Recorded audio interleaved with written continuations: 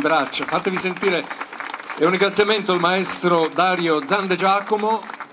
Diamo inizio alla cerimonia inaugurale dell'edizione 2016 dell'antica fiera di San Gregorio.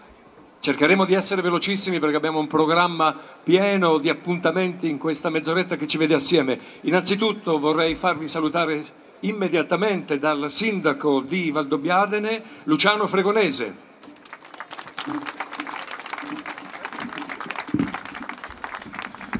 Buongiorno, tanta gente anche oggi. Il tempo è dalla nostra parte, ma devo dire che quando si lavora intensamente per mesi, forse si è anche ripagati attraverso le belle condizioni meteorologiche.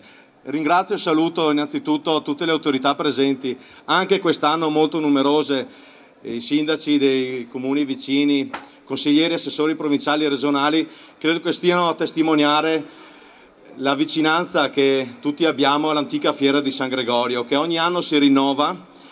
Quest'anno il tema è innovazione e tradizione. Lo vediamo in questi tre giorni che riassumono tutto quello che viene fatto durante l'anno e negli anni a Valdobbiadene in tutta l'area pedemontana della, della DOCG. Tradizione e innovazione perché la tecnologia può e deve aiutare a mantenere questo patrimonio di cui noi possiamo godere, che è il frutto di secoli di lavoro di chi ci ha preceduti e che noi dobbiamo lasciare a chi verrà dopo di noi. Tante iniziative, io sarò molto breve, colgo l'occasione per ringraziare tutti quelli che, a partire dai volontari delle varie associazioni, hanno lavorato e lavorano anche in questi giorni di festa per moltissimi di noi, ma per, per molti altri di lavoro, ma lo fanno proprio perché vogliono bene al nostro paese, a Valdobbiadene, vogliono bene alla storia e alla tradizione che noi vogliamo portare avanti.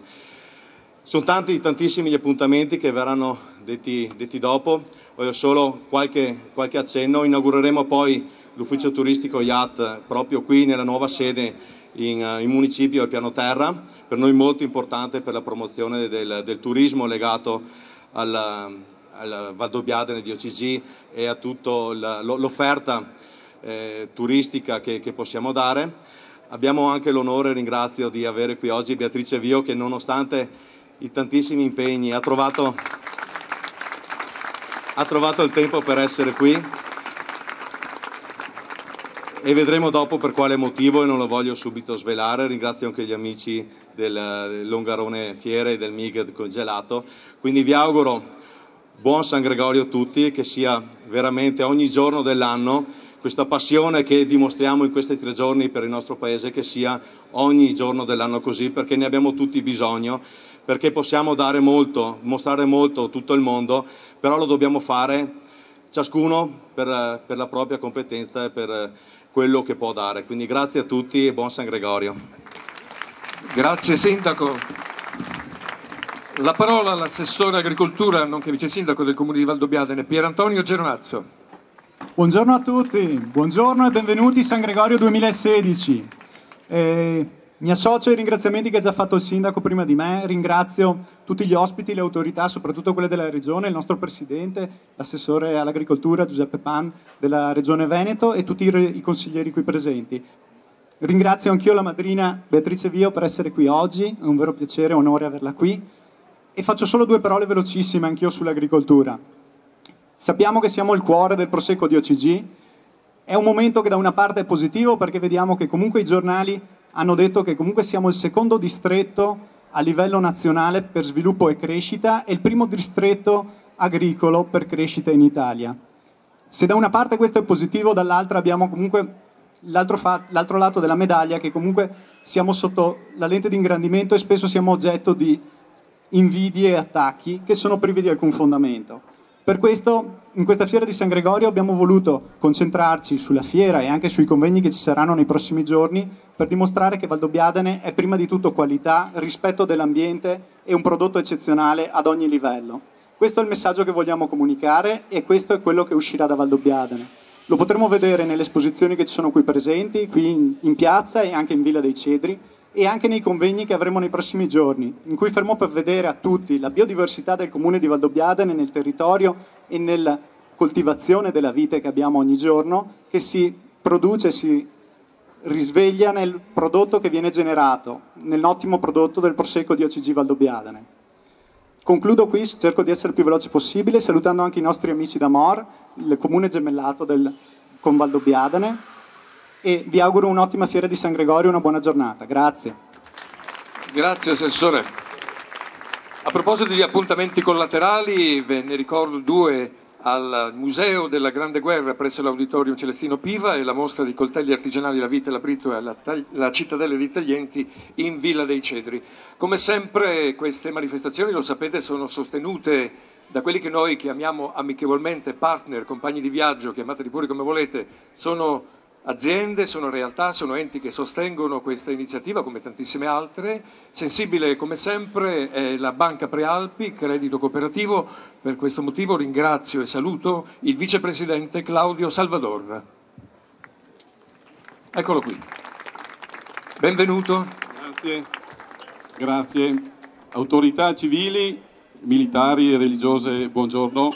Porto i miei saluti e oltre ai miei porto quelli del Presidente Carlo Antiga e del Consiglio di amministrazione della direzione. Mi sento a mio agio in questo momento qui, su questo palcoscenico, di fronte a tante persone, persone che lavorano, che hanno dato al territorio un merito che è stato quello di non arrendersi mai, che con molta perseveranza e volontà ha prodotto un'economia che è un fiore all'occhiello, non solamente regionale, ma un fiore all'occhiello nazionale su questo noi di Banca Prealpi siamo sempre disponibili al vostro fianco per soddisfare quelli che sono i vostri bisogni. In questi ultimi tempi abbiamo sentire, sentito parlare di riforma del credito cooperativo, di wait out. Noi che abbiamo ricevuto dai nostri predecessori, dai nostri avi, un capitale, non siamo disponibili a fare di questo capitale merce di scambio. È un capitale che abbiamo preservato e che deve essere a disposizione nostra e anche alle generazioni future. Quindi noi di Banca Prealpi saremo sempre al vostro fianco con tutto il nostro capitale, le nostre persone e tutta la nostra volontà. Grazie buon proseguimento. Grazie Vicepresidente. Naturalmente con la Banca Prealpi ringraziamo anche tutti i partner che vedrete e che noterete nella campagna pubblicitaria, in modo particolare Valdoca, Cantina Produttori di Valdobbiadene ed Edil Commercio. Uh, fra le molte iniziative nel corso di questo momento inaugurale ce n'è una a cui teniamo particolarmente perché è diventato ormai un punto fisso all'interno del calendario delle manifestazioni delle fiere di San Gregorio. C'è questo connubio che è nato con MIG, la mostra internazionale del gelato di Longarone, e c'è un premio, ed è un matrimonio tra il gelato, e qui siamo nella terra del Prosecco, non poteva essere diversamente, per parlarcene, per ricordare tutto quello che abbiamo fatto e quello che faremo, ma soprattutto per premiare i vincitori di questa edizione c'è il presidente di Longarone Fiere, Giorgio Balzan. Buongiorno a tutti, un saluto particolare alle autorità, porto il saluto mio personale di Longarone Fiere, della mostra internazionale del gelato, anche a nome dei maestri gelatieri qui presenti, di Fausto Bortolot che è il presidente della fiera, due eccellenze il gelato e il prosecco si sono messi insieme, noi dobbiamo tenere alte le nostre eccellenze anche su una possibile strada Venezia-Monaco dove i nostri prodotti vanno assolutamente valorizzati. Quindi grazie al comune di Valdobbiadene, grazie all'agriturismo La Dolza che ci ha ospitato, grazie alle 30 gelaterie che hanno partecipato a questo concorso e buona fiera. Grazie. Eh no, Presidente, dobbiamo premiare adesso, dobbiamo premiare, quindi volevo subito chiamare per eh, la disponibilità, la voglio, lo voglio ringraziare perché stravolgiamo un po' la scaletta, però vorrei chiedere anche al Presidente Luca Zaia se sarà dei nostri per questo momento, perché ci sono tre premiati, sono altrettanti professionisti del gelato, terzo classificato, anzi terza classificata, Samantha Cossu di Cittadella.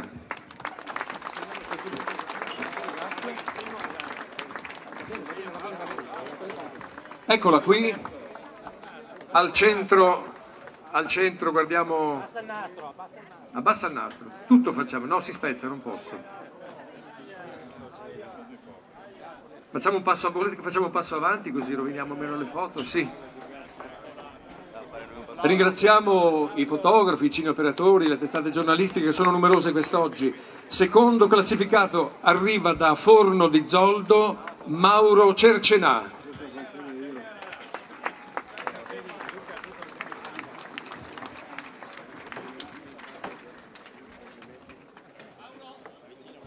Io non dovrei dirlo, ma dopo c'è del gelato per tutti, quelli che saranno, quelli che saranno fortunati. Quelli che saranno fortunati, non fate l'assalto. Primo classificato arriva da Cittadella è Pietro Zanetti.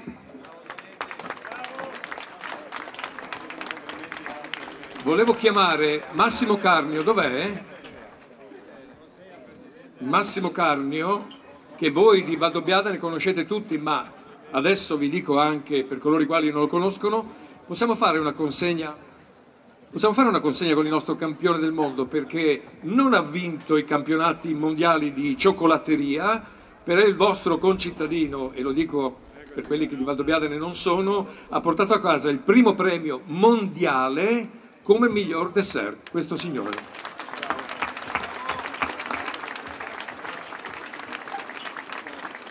Com'è andata Massimo? No, no, vieni, vieni. Com'è andata questa gara? Beh, io voglio ringraziare questo pubblico che mi ha anche seguito durante la gara e ringrazio di cuore tutti, veramente.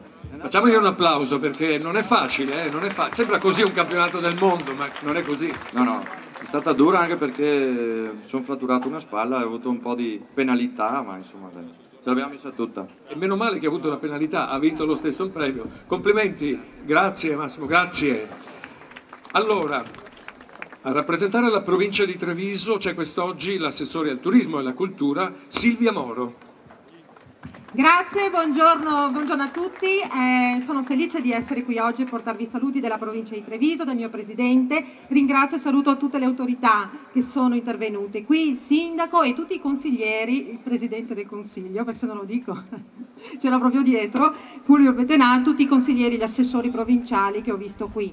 Vedete, ehm, la provincia di Treviso, ancora da quando il presidente eh, Luca Zaia era in provincia, ha fatto proprio cavallo di battaglia la difesa delle tipicità del territorio, dei nostri prodotti tipici, dei nostri sapori, delle nostre tradizioni.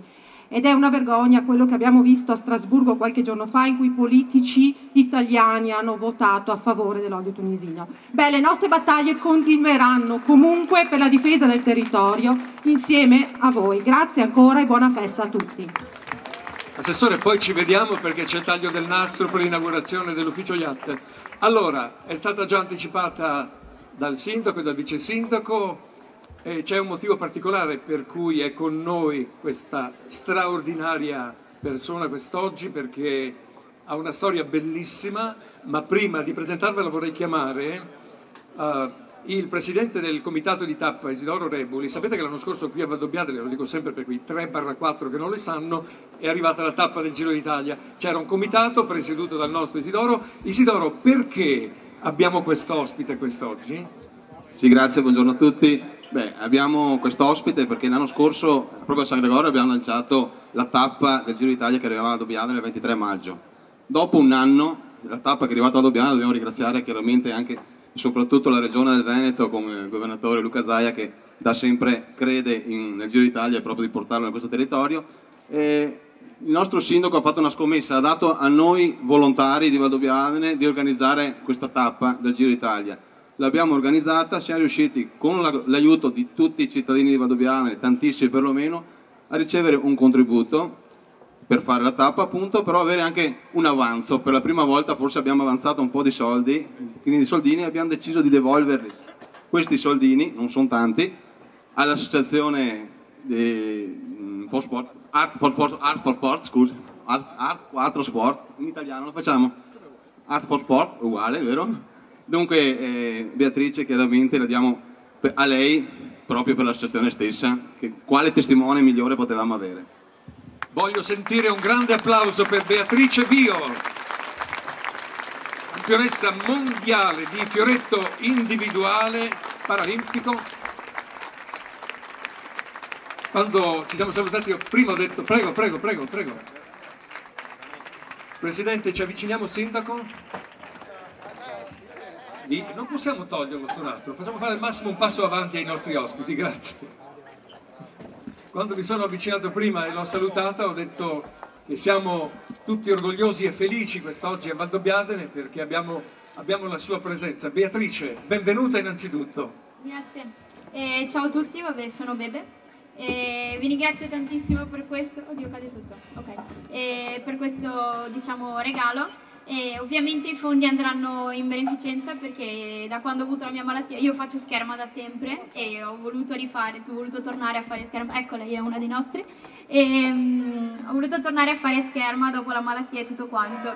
Per uh, farlo... Suono le campane per te. Ah, ok.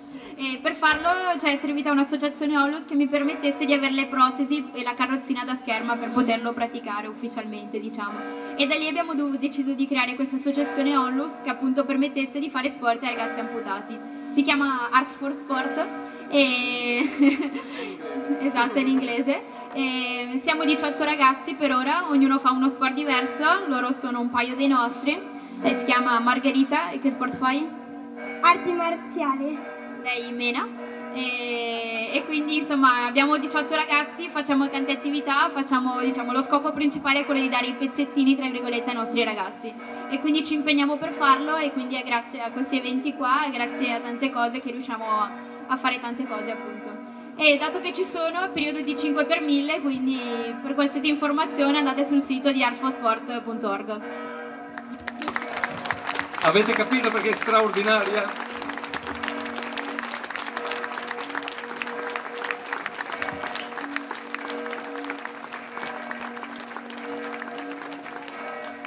Qua con noi perché le, le, campane praticamente il sindaco le ha ordinate a quest'ora proprio per te e guarda non è finita perché chiaramente un omaggio floreale non deve mancare, non deve mancare.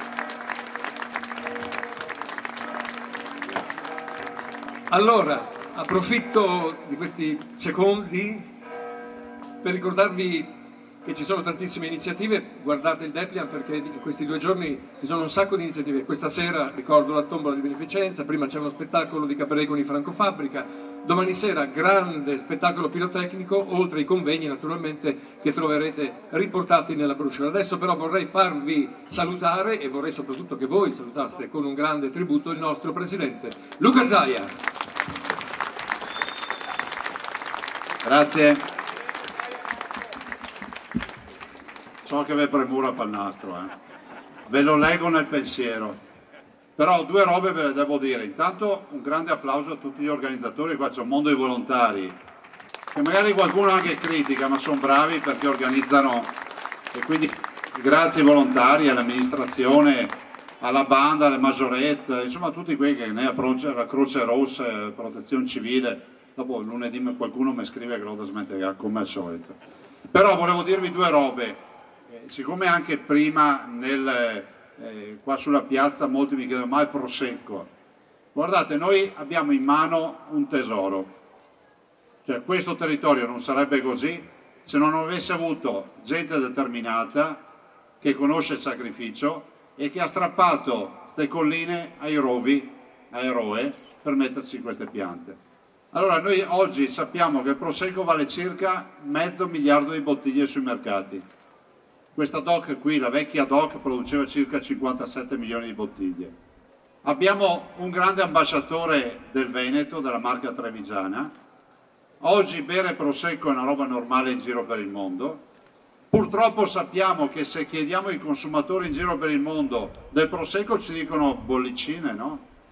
Però non sanno dirsi dov'è. Quindi dovremmo ancora lavorare per spiegare che Prosecco è Veneto, è provincia di Treviso, è Venezia e quant'altro. La preoccupazione qual è? Preoccupazione è che oggi va bene e deve restare così il mercato. Quando si vedono i contratti in pianura, la vecchia EGT, che oggi ha contratti, proposte di contratto per le uve sulla nuova DOC della pianura a 1,30 euro al chilo, il mondo si spacca a metà, no? Chi dice magari andasse sempre avanti così, chi dice ma devo preoccuparmi. Io penso che il mondo dell'agricoltura debba comunque non dormire tranquillo rispetto a queste partite. È fondamentale che i consorzi prendano in mano la situazione, è fondamentale che si chiudano accordi di filiera, è fondamentale che sui mercati da qua ai prossimi anni chi dovrà comprare le nostre uve e chi dovrà comprare il nostro vino sappia con certezza quanto gli costerà.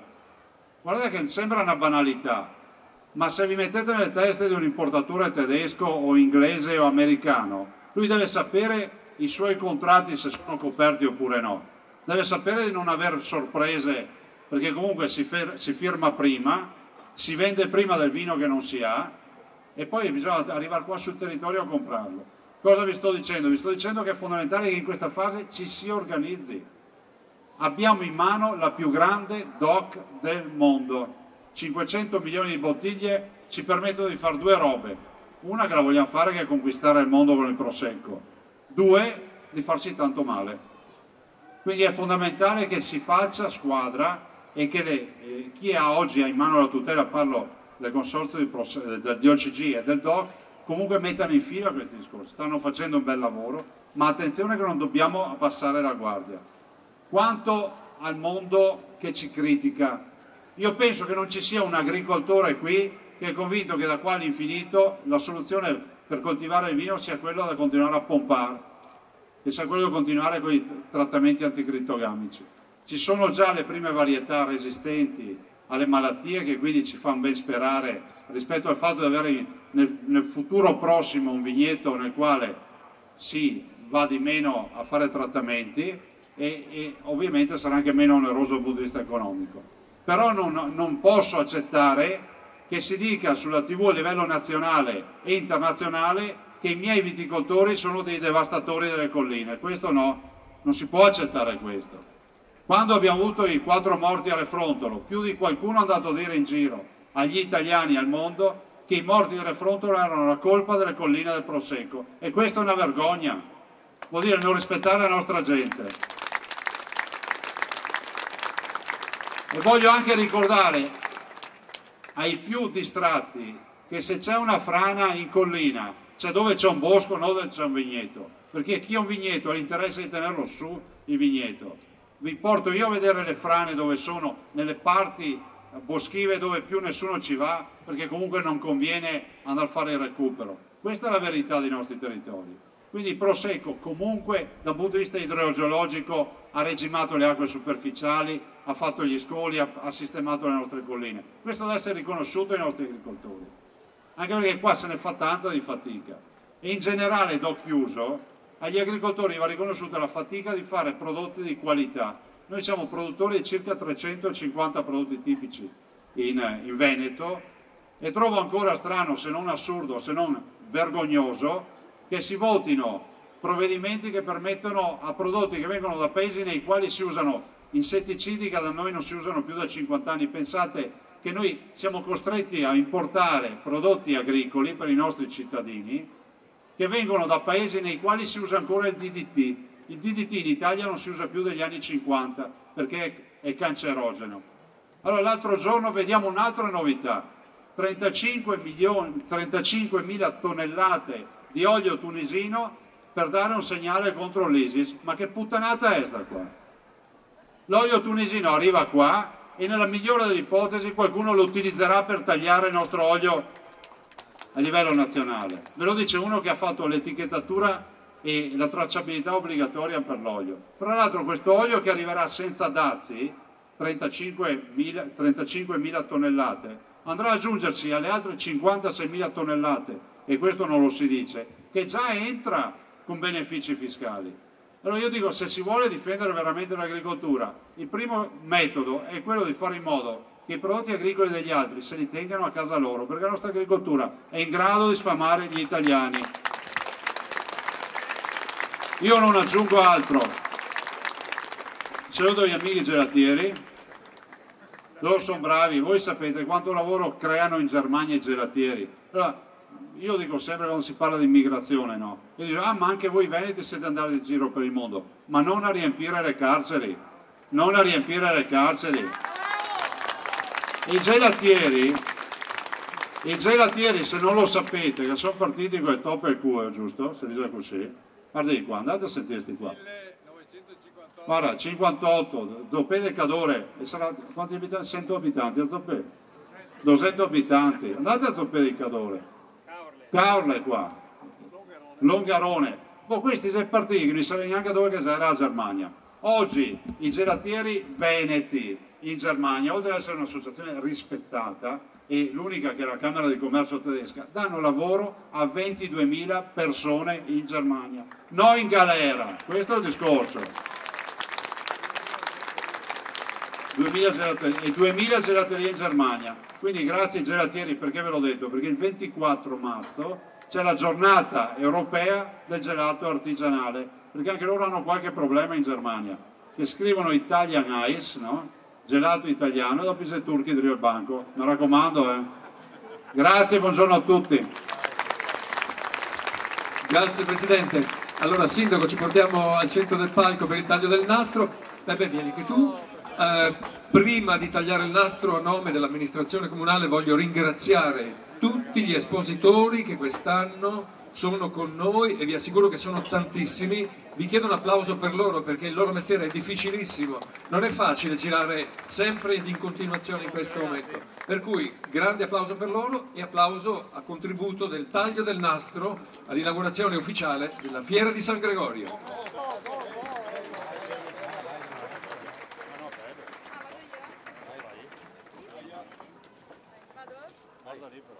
Sempre seco.